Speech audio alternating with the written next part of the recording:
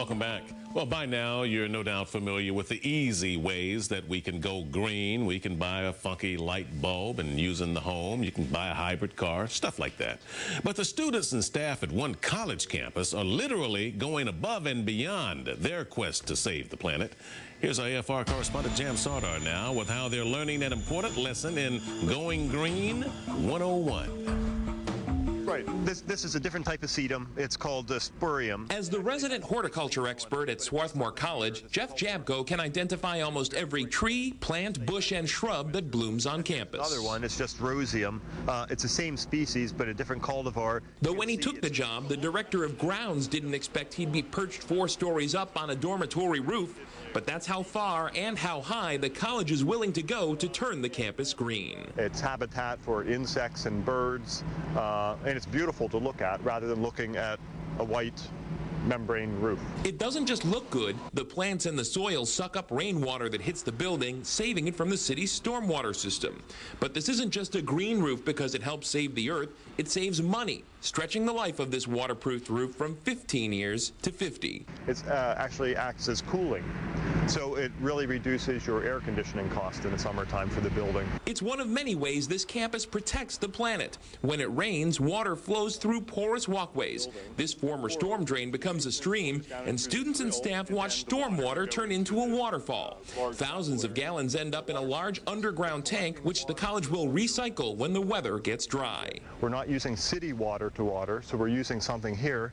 And as we irrigate that excess water, once again, it percolates down into the ground and then can recharge the groundwater. College officials aren't the only ones creating an eco-friendly campus. Students like Lauren Goodfriend are in on the act too. Her computer and her lights get juice from a solar panel she set up outside her window. Then uh, the current travels through these wires. The setup cost Lauren some $400, which she won't earn back. Um, The flat fee she pays for her room includes utilities. She just wants to make a difference. So I thought, like, what matters to me? Um, environmentalism has always been important to me. So, kind of what can I do along those lines? Well, I could generate my own power.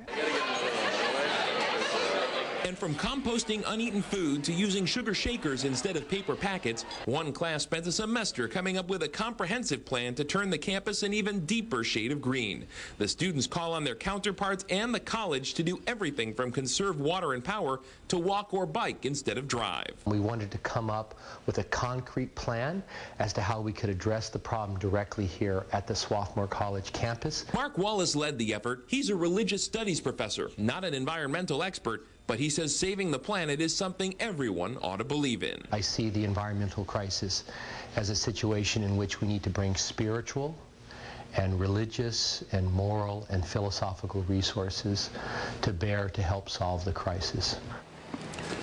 Well, Jim, this is certainly admirable what they're doing over there. In some ways, it's very monumental, really. I mean, planting this stuff on the roof to uh, conserve the water coming down and to, to cool it and everything like Uh, that. Green roofs are, are just starting out, and as far as we know, this is the first college campus that's had has a green roof on its dormitory. So they're they're really setting a new standard here. Do they market this um, beyond you know, where they are? Is this something that they're uh, putting out so perhaps it could be a lure to bring students in? Uh, that's a good uh, that's a good point, Art. I don't know how well they've put this particular uh, item up on the agenda to try and get students to come. There are they are one of the colleges that recently made it easier for uh, you know.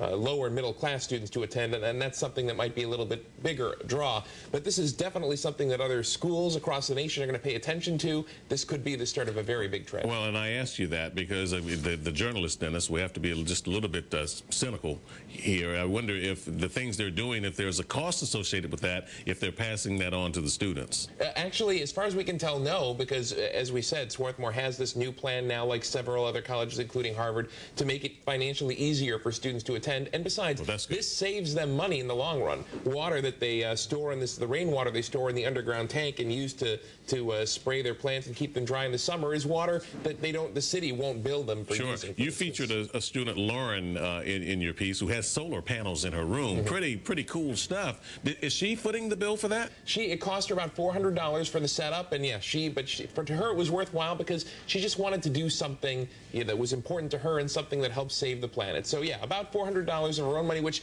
she won't recoup because she already pays utilities as part of her dorm room package. She just wanted to do it to, to make a difference and make a point. Well, you think that they'd give her some kickback for it at least. You know, she's helping out, saving them money. Here's a little something for you, but maybe not. But anyway, it's a very good uh, point, and uh, Swarthmore is a college that uh, I'm sure a lot of uh, others will be watching in the years to come. They're a front runner in this. Most definitely. All right, thanks, Jan. We appreciate it.